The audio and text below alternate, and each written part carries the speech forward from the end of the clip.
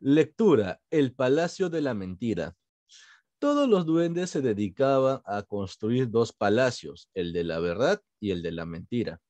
Los ladrillos del Palacio de la Verdad se creaban cada vez que un niño decía una verdad y los duendes de la verdad los utilizaban para hacer su castillo. Lo mismo ocurría en el otro palacio, donde los duendes de la mentira construían un palacio con los ladrillos que se creaban con cada nueva mentira. Ambos palacios eran impresionantes, los mejores del mundo, y los duendes competían duramente porque el suyo fuera el mejor. Tanto que los duendes de la mentira, mucho más tramposos y marrulleros, enviaron un grupo de duendes al mundo para conseguir que los niños dijeran más y más mentiras. Y como lo fueron consiguiendo, empezaron a tener muchos más ladrillos y su palacio se fue haciendo más grande y espectacular. Pero un día algo raro ocurrió en el palacio de la mentira. Uno de los ladrillos se convirtió en una caja de papel poco después, otro ladrillo se convirtió en arena y al rato otro más se hizo de cristal y se rompió. Y así, poco a poco, cada vez que se iban descubriendo las mentiras que habían creado aquellos ladrillos, estos se transformaban y desaparecían, de modo que el palacio de la mentira se fue haciendo más y más débil, perdiendo más y más ladrillos hasta que finalmente se desmoronó y todos, incluidos los duendes mentirosos, comprendieron que no se pueden utilizar las mentiras para nada, porque nunca son lo que parecen y no se sabe en qué se convertirán. Muy bien. Disculpen chicos, este, hice una pequeña pausa porque me pareció que había temblor, me pareció. Era, un camión que estaba pasando cerca de mi casa. bien chicos, entonces, eh, hemos leído dos veces, es una lectura súper corta, súper sencilla, así que lo vamos a leer por una tercera vez, ¿de acuerdo? Para que quede bien claro. Y luego pasamos a la parte de preguntas. Hay, hay una cantidad regular de preguntas, eso sí. Bien, vamos a leerlo de nuevo. Esta vez empezamos con, por favor, Fabiana. Todos los duendes hasta Castillo. Fuerte y claro. Todos los duendes se dedicaban a construir dos palacios, el de verdad y el de la mentira.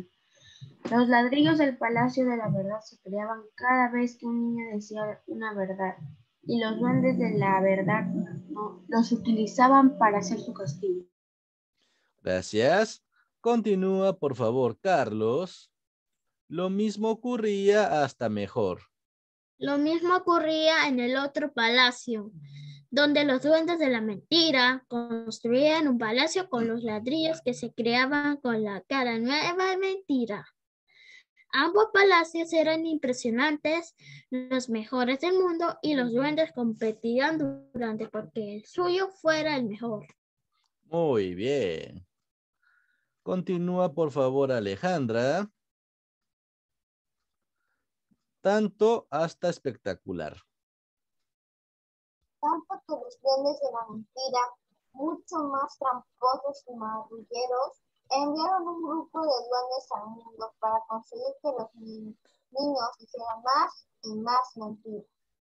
Y como lo fueron consiguiendo, empezaron a tener mucho más ladrillos. Y su palacio se fue haciendo más grande y espectacular.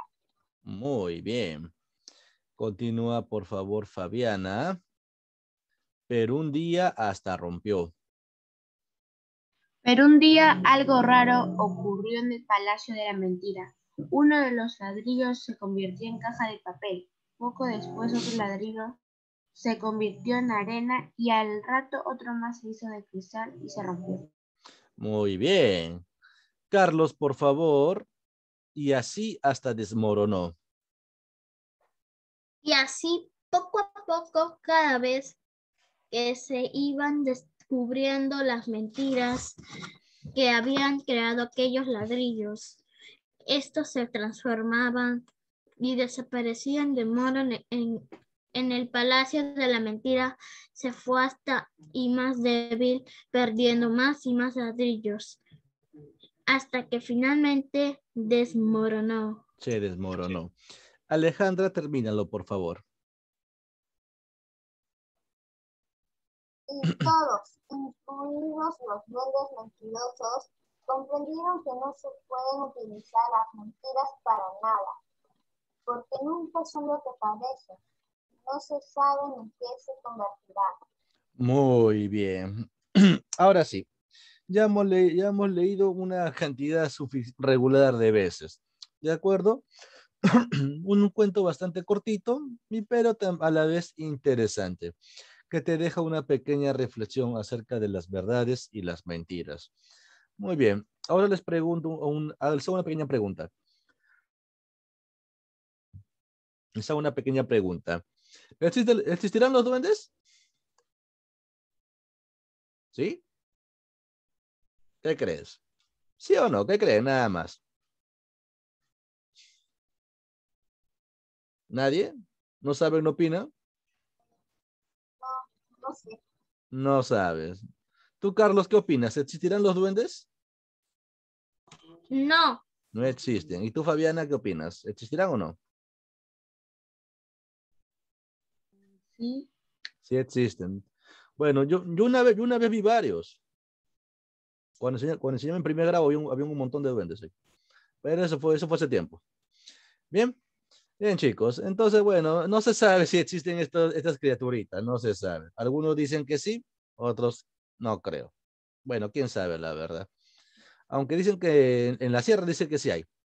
Quizás, quizás. Bien. He escuchado también esa historia de que si cuando eres chiquito te lleva el duende. Sí he escuchado esa historia también. Bien, ¿será cierto o no? ¿Será será cierto? No sé. Bueno, quién sabe. Bien, vamos a ver. Ay, que también comen higo también, eso dice. Les gusta el higo. Bueno, vamos a responder las preguntas eh, de esta pequeña lectura. ¿A qué se dedicaban los duendes? ¿Qué, a qué, qué profesión hacían los duendes? ¿Ejercían los duendes? ¿A qué se dedicaban?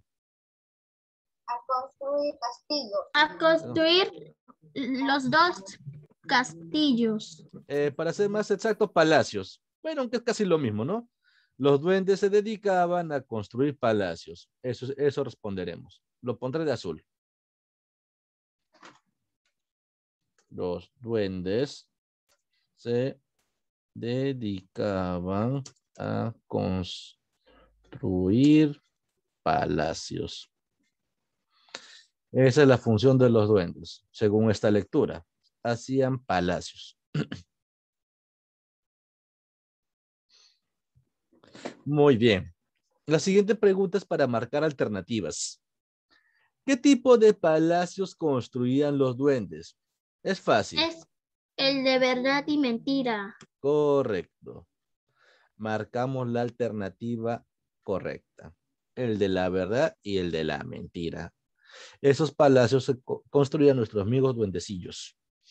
Muy bien. Sigamos entonces.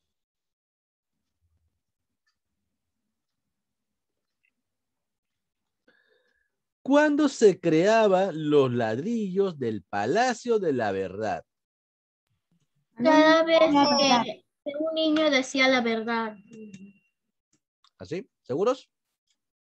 Cuando dicen la verdad se hace ladrillo. Exacto. Se, se creaban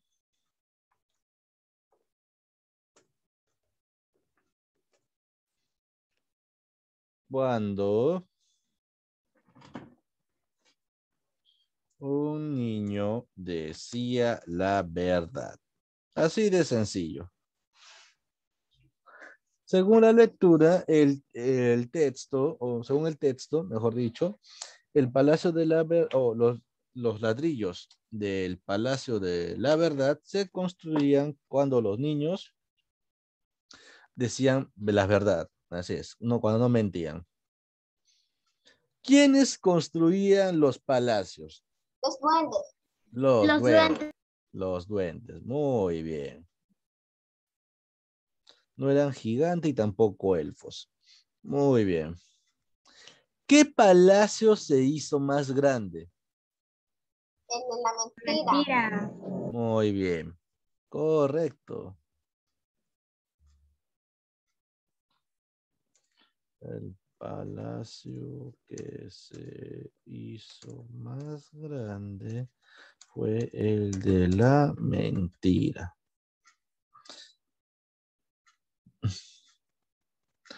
Porque los duendes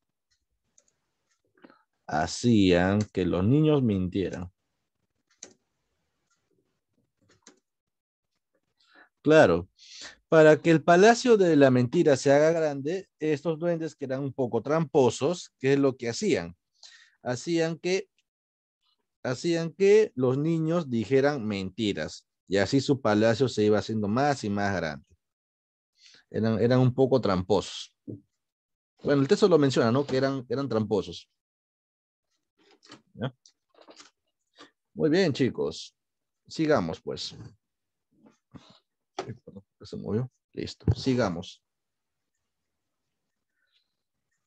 ¿En qué se convirtieron los, pala- eh, los ladrillos del Palacio de la Mentira? En una caja de papel. En una Arena. Cristal. arena.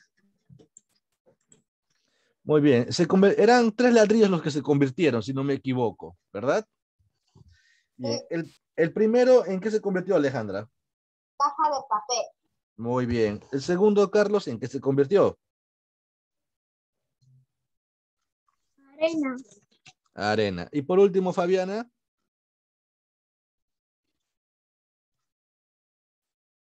En cristal. En, en cristal, correcto. Muy bien, chicos. Entonces sí ha servido que lo, lo hayamos leído un montón de veces. Estamos en lo correcto. Los ladrillos del Palacio de la Mentira. Los ladrillos se convirtieron en arena, coma. El otro se convirtió en caja de papel, ¿verdad? Sí, ¿no? Sí. Muy bien. Otro se convirtió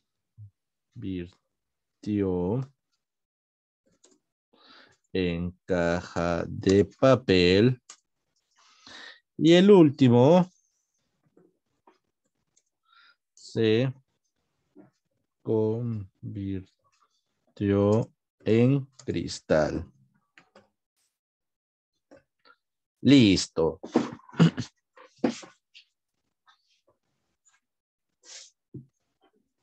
Bien, ahí está.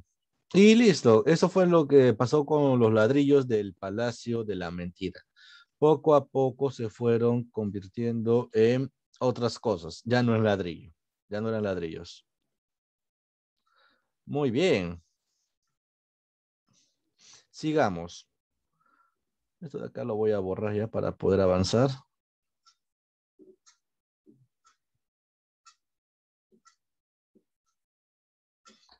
Pregunta 7. ¿Qué le pasó al final al Palacio de la Mentira? Se desmoronó. Bueno, bueno acá dice mentita. Qué cu- Qué curioso, que dice mentita. Bueno, ya ustedes, ustedes corrijan eso ahí, por favor. Hmm, ¿Así venía el texto? Bueno. Ese fue eso de la, men- de la men- mentira, no mentita, por si acaso. ¿ah? Yo lo puedo corregir acá este, en PDF, pero ustedes ya lo tienen impreso, creo, ¿no? Corrijan ahí, por favor, ¿ya? Bien. El, al final. ¿Y por qué se desmoronó el Palacio de la Mentira? Convirtiéndose poco a poco. Muy bien, muy bien. Los materiales de ese castillo se fueron convirtiendo en otras, los ladrillos, mejor, de ese castillo se convirtieron en otras cosas. Claro. Al final se desmoronó porque los materiales de ese castillo se convirtieron en otras cosas y ya no eran ladrillos. Y ya no eran ladrillos, claro. Se sabe que los ladrillos que usaban los duendes se convirtieron en otra cosa y por eso es que ya no se usaban estos materiales. Muy bien, chicos. Sigamos, pues. ¿Por qué no se pueden utilizar las mentiras para nada? Según lo que nos dice el texto.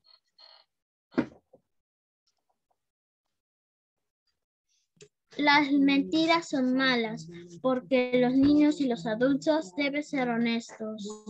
Mm, también, también, también. Pero basémonos en los que nos dice el texto como tal. Aunque lo que Carlos tiene razón también. A ver, ¿qué nos dice el texto al final? Porque nunca son lo que. Ah, repite, por favor, ¿cómo? Porque nunca son lo que parecen. Ah, ya, mejor, mejor, muy bien. Claro, según los que nos menciona el texto, es que las mentiras eh, no, no, les, no les ayudan, porque al final no saben en qué, qué, puede pasar o en qué se puede convertir, ¿correcto? Si no me equivoco, eso es lo que dice el texto, ¿no? Porque nunca son lo que, y no se sabe, y no se sabe lo que se va a convertir. Porque no son lo que parece y no se sabe en qué se van a convertir. Claro. Y eso, y eso aplica también para la vida real, para la vida real, ¿no? No solamente para los textos, sino que para la vida real también. No se sabe, no, no, eh, no es bueno hablar con, decir, hablar con mentiras, mejor es ser honesto, como lo dijo Carlos hace un, hace un rato. Bien, chicos, vamos a pasar ahora a la siguiente parte. Aún tenemos bastante tiempo, así que vamos a avanzar con esto de aquí. ¿Copiaron las respuestas, por favor? ¿Sí? Muy bien, Carlos. Fabiana también, Alejandra. Muy bien. Muy bien. Vamos a continuar entonces. Las dos primeras las voy a borrar.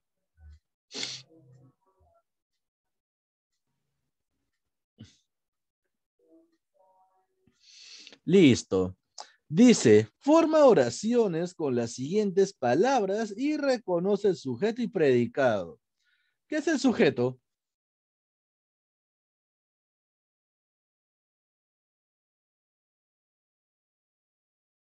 A ver, comunica ¿cómo estamos en comunicación? Plan lector también es parte de comunicación. Es lectura, es texto, es letra. Profesor, ¿puedo repetir? Ahí está la pregunta. Forma oraciones con las siguientes palabras y reconoce el sujeto y predicado. Los duendes me dan terror. Los duendes me dan terror. Esa es, es la oración que podemos formar. Muy bien. Vamos a poner esa oración entonces. Muy bien, gracias por la... A ver, vamos a ver. Alejandra me ayudó con una. Fabiana ve pensando en una oración con la palabra palacio y Carlos con la palabra chocolate. Vamos a ver. Los duendes me dan terror. En esta oración, los duendes me dan terror. ¿Quién es el sujeto? Los duendes. Los duendes, muy bien. ¿Y cuál es el predicado?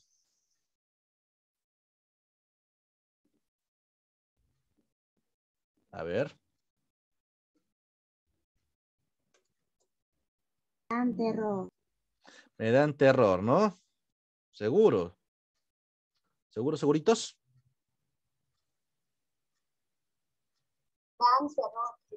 Muy bien. Muy bien. Sí, está bien.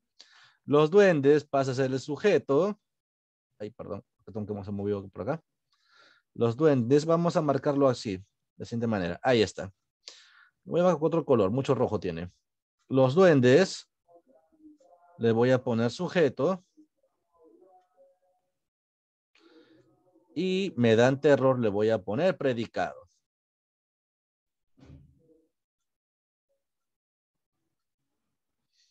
Predicado. Listo. Muy bien. Eh, Fabiana, dame una oración con la palabra palacio.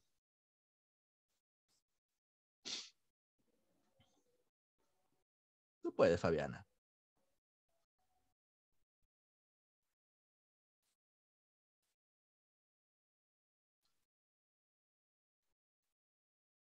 Carlos ve pensando en una oración con la palabra chocolate.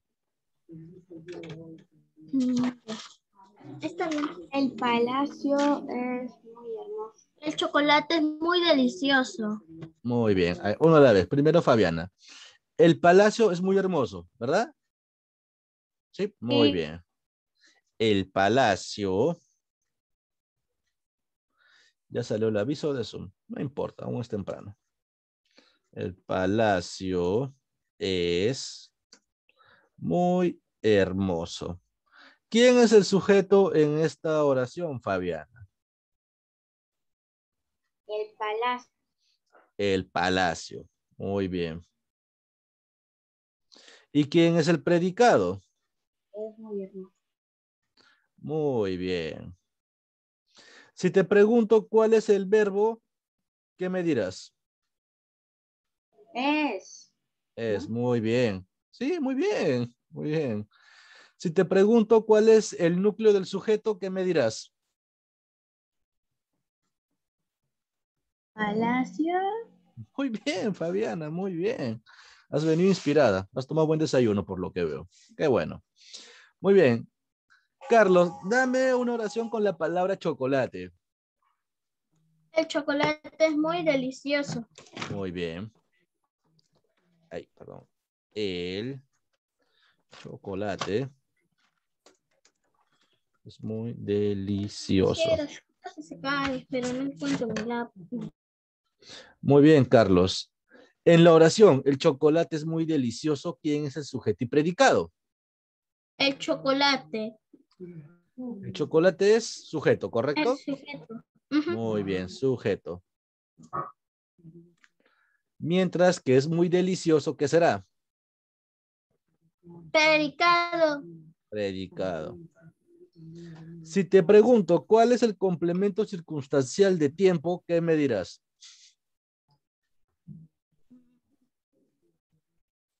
Muy. Muy. de tiempo. Podría ser. No, bueno, es- es- es- ¿les han enseñado eso de complemento circunstancial? No, ¿no? ¿O sí? No, Pasado, No, no, no, eso- esos son los tiempos verbales, no. Complemento circunstancial. Ya, les enseñarán, supongo. Ya les enseñarán. Bien. A ver, ¿cuántas, cuántas palabras son? Eh, las, las ya lo voy a borrar esto de aquí. A ver, ¿cuántas palabras son? Ah, ah, son, ah, son regularcitos, ¿ah? Bien.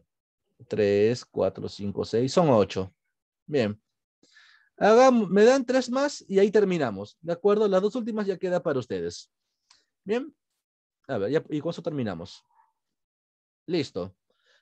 Car- este, Carlos, dame una oración con la palabra ladrillo, Alejandra con la palabra arena y Fabiana con la palabra impresionante. A ver. Los, lad- los ladrillos del Palacio de la Mentira se debilitaron. Ya, muy bien.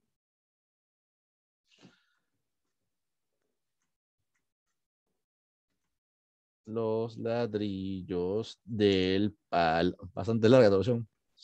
De la mentira se debilitaron. Muy bien.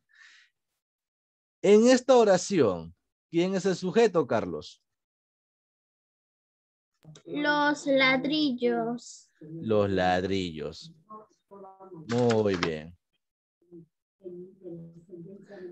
¿Y el predicado quién será? Del Palacio de la Mentira se debilitaron. Muy bien.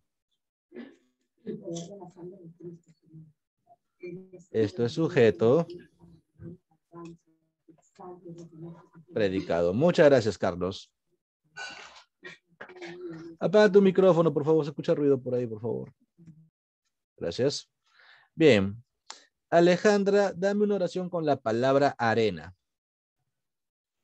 Gusta hacer castillos de arena.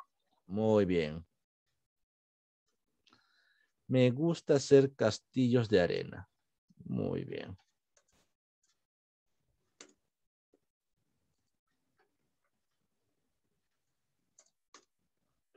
En esta oración, Alejandra, ¿quién es el sujeto?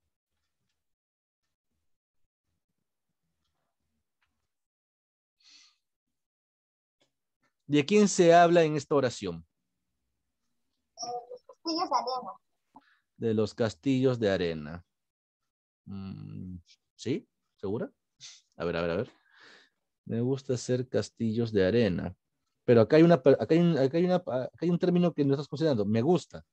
Estás hablando de ti mismo, eh, bueno, en la oración, ¿verdad? ¿Sí?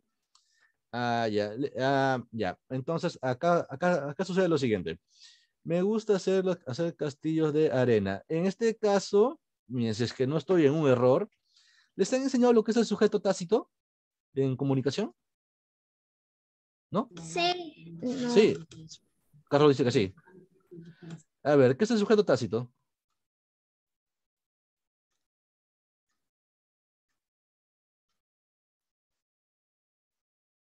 ¿Sí o no? ¿Les han enseñado sí o no? Pues, si no, si no para decirles yo, ¿no? si no, yo, yo se los aclaro. Bien. Sujeto tácito es aquel sujeto que no se menciona en la oración directamente, pero que sí se da a entender. Por ejemplo, me gusta hacer castillos de arena. No, me, no menciona directamente al, a la persona, pero sí se entiende que hay alguien que está ahí, ¿verdad? A mí Sí, me gusta-. Ah, ya, pues entonces sí lo han hecho, ¿ya? Entonces, en este caso, el sujeto es tácito. Podemos decir que el sujeto está entre me gusta. Ahí, a mí me gusta, en este caso estoy hablando de primera persona, yo como persona, yo soy el sujeto. Entonces, aquí estaría el sujeto tácito. Bien, Alejandra, has dado un ejemplo bastante complejo, muy bien. Sujeto, le voy a poner sujeto tácito, ST. No se menciona directamente, pero se sobreentiende que está allí. Normalmente esto aparece en oraciones en las que se habla en primera persona, como es este caso. Hacer castillos de arena es el predicado.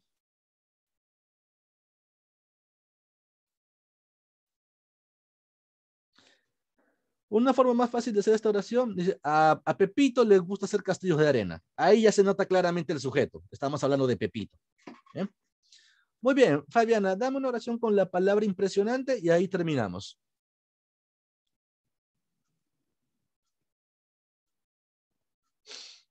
La altura de la jirafa es muy impresionante. Es impresionante.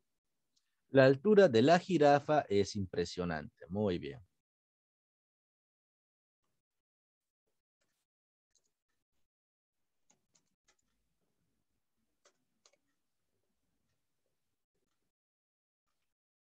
La altura de la jirafa es impresionante.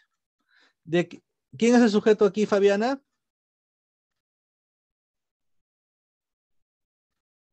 Altura de la jirafa. Sería la jirafa nada más. La jirafa es el sujeto. ¿Y qué se dice de la jirafa? De su altura. Es impresionante. Ese es el predicado. La altura pasa a ser con lo que se llama complemento circunstancial del modo, pero eso ya lo verán en comunicación. No, me corresponde a mí hablar de eso. Sujeto, esto es predicado. Muy bien. Por si acaso hay tres complementos circunstanciales, de modo, de lugar y de tiempo. Tengan presente eso. Si no lo ven, eh, si no lo ven este año, lo ven en secundaria. Tengan presente eso, por favor. Bien, y listo. Eso sería todo. Y ya nos queda un minuto, de, un minuto y medio de Zoom. Hasta ahí nos vamos a dejar.